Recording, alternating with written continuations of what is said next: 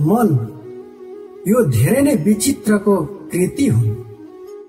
यो शरीरको कुन चाहिँ अङ्गमा विराजमान हुन्छ यो कसैलाई थाहा हुँदैन।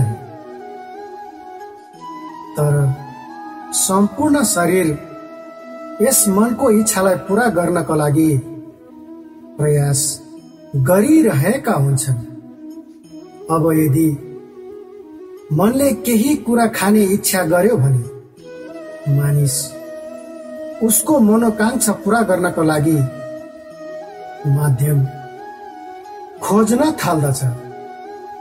यदि मन कसैलाई शत्रु ठान्दछ तब त्यसलाई नष्ट गर्नको लागि हर सम्भव प्रयास गर्न थाल्दछ।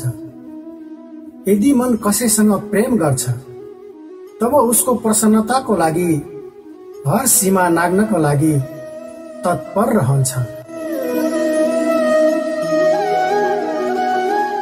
जीवन सुखद होस् यसका लागि आवश्यक हुन्छ कि मन खाली होस्। बाँसुरी झै भित्र केही हुँदैन न राग न